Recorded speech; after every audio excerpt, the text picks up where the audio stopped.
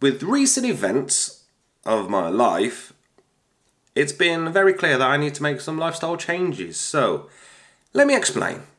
As the thumbnail and title would suggest, I haven't actually made it yet as of recording this, but who knows.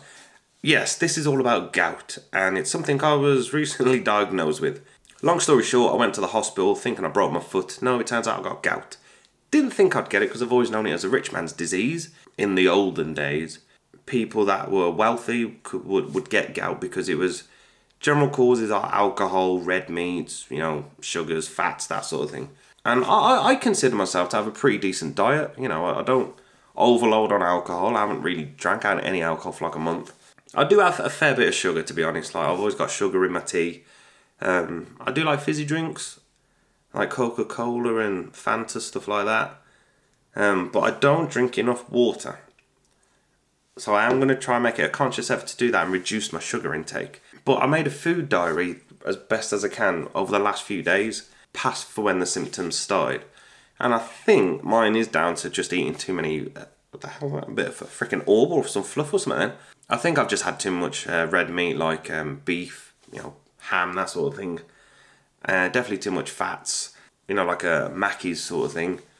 And it just really made me think of my own lifestyle. Like, I'm 32 years old. I didn't think I'd get gout. Well, it is prominent in the ages of 30 to 50, so I was like, a fair game. But it just made me realise that I am growing old. I'm, I'm not a spring chicken anymore, as they say. So yeah, it just kind of made me think I'm gonna have to make some changes to my own lifestyle, do a bit more exercise, get a bit more fruit and veg in me. Obviously, don't overdo it in the fruit because they have uh, sugars in there. Definitely drink more water. And yeah, it was quite quite a revelation, really, not being able to. I mean, if you don't know what gout is, sorry, I don't know if I've already said this. Um, it's a form form of arthritis, um, and what happens is your kidneys can't flush the uric acid. I'm reading it as I as I speak. So what happens is the uric acid crystals have to go somewhere, and for some reason it ends up in your big toe, but like the the joint of your big toe on your foot. Obviously, that's where your big toe is, dummy.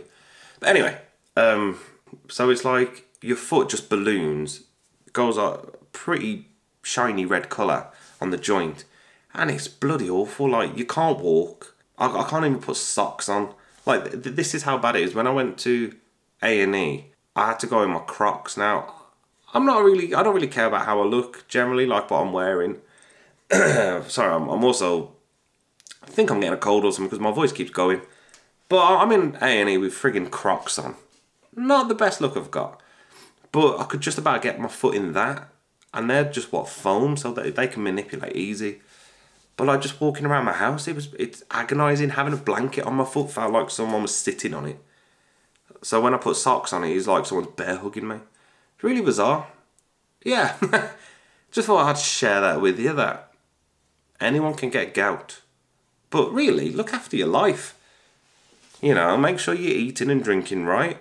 Do, do, do enough exercise as you need just look after yourself, really. Make sure the old noggin's all right, because we all know how that can get impacted. And all mine did when my uh, when my dad passed away. That that ruined me. But I, I, yeah, I think really it was just kind of a surprise that I, I have gout.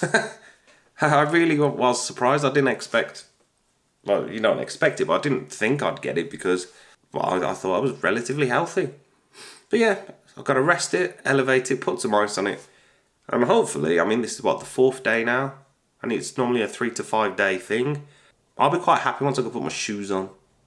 I can cope with pain, but not being able to put my shoes on, to just go for a walk, don't like that. Anyway, I'm going to leave it there, just for I do give it a little update. I'll see you on the next one. Bye.